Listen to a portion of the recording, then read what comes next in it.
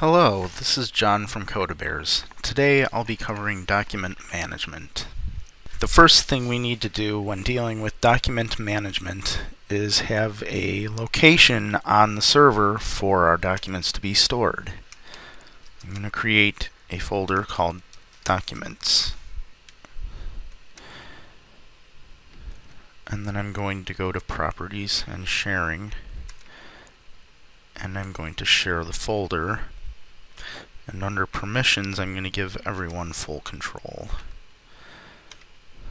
You may set that up differently depending on the way your company is set up for security, but for this case we'll just give everyone full control. Now, under Company Maintenance, on the Attachments tab, this is where the document management is controlled. Under File System Location, I'm going to check Enable File System under default base location, I'm going to enter in the UNC path for that documents folder I just created. We can leave the file transfer mode as the default file transfer using service and we'll save that. Now I'm going to come over here to customer maintenance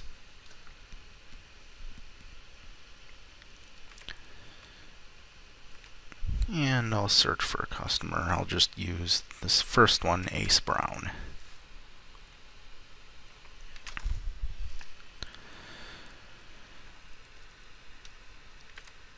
And as you can see, there are currently no attachments on here. I'm going to right click the customer and add new attachment. And all I'm going to do is browse for a file. And I'll attach this customer doc file. And I'll just call this form 1 now that file is attached to this customer file under the attachments drop down as form 1 I can open that form if I click right click and go to edit, you can see this has attached this document using my local location for the document. So it's only a, it's only associating a link to the local path of the document. Now if somebody else were to go and try to open this from their own machine, they would not be able to because this document is on my machine and they can't access that. I'm going to add another attachment and this time I'm going to choose a document type. We'll call it Customer Agreements.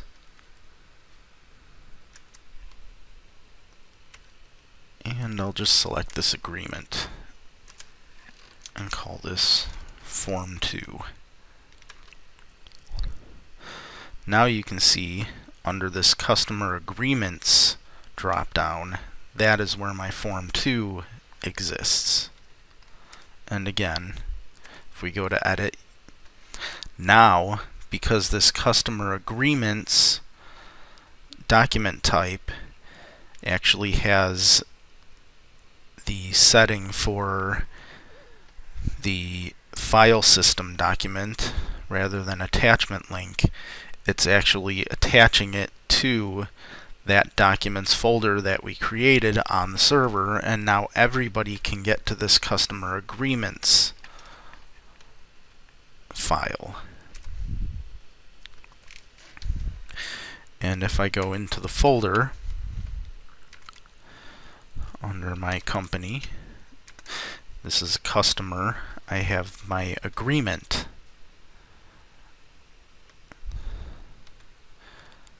Now what I can do, now I'm going to delete this form 1 since this is an attachment using a link to my local machine. And I'm going to come back to company maintenance and I'm going to change this default document to file system document. Now when I come back to my customer,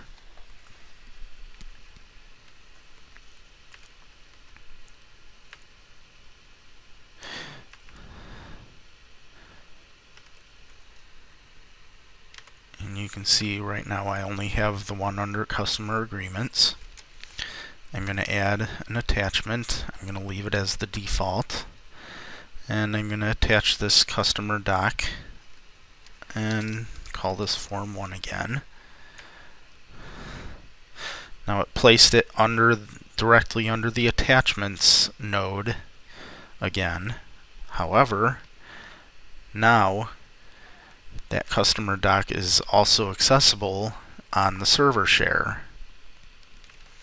And if I come in here and go to edit, you'll see it put it into the server share because I changed that default to use the file system management.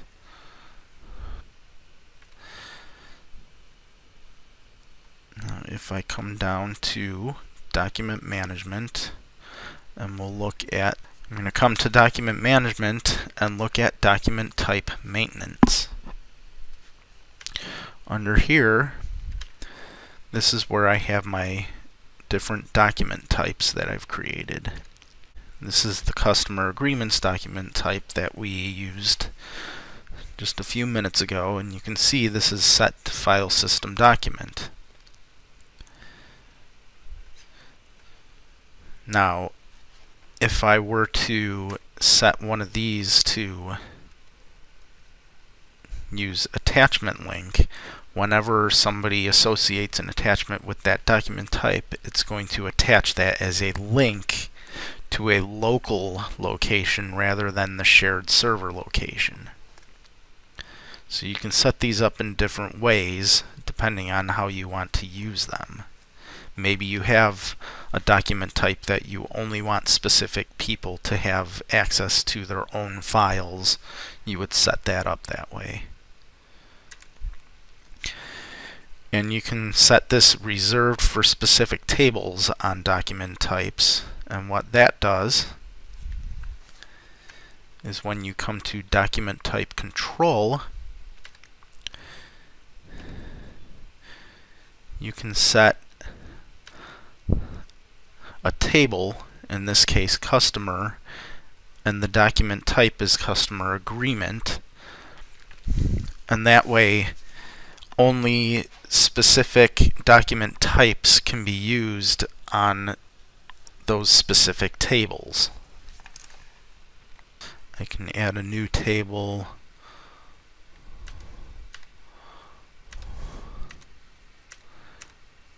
in this case we'll say job head and I'm going to put an ECO document link on there. So if somebody's working on a job, they can attach to the ECO document type under the job head in job entry.